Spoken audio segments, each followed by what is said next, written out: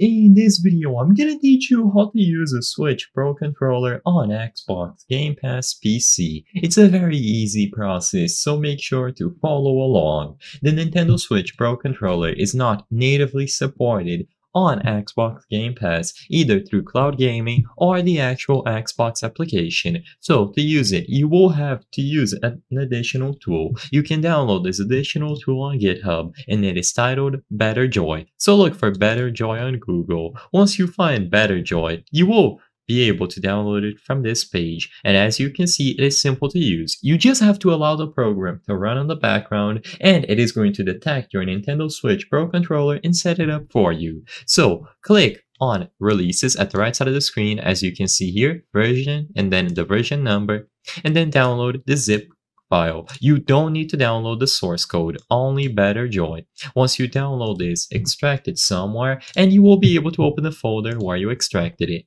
Now, first, open the drives folder and then download these drivers accordingly. If you are unsure on which one to install, check to see if your system is 64 bits or 32 bits, but for most of you, it is going to be this first one here.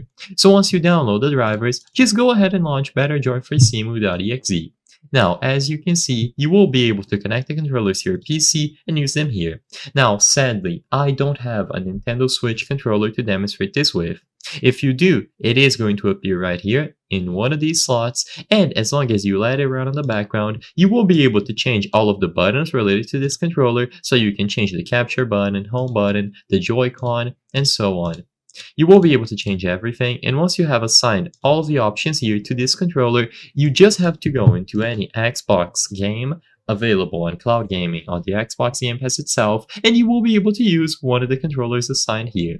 I hope I was able to help you on how to use a Switch Pro controller on Xbox Game Pass PC. If this video helped you, please be sure to leave a like and subscribe for more very easy tips. Thank you for watching!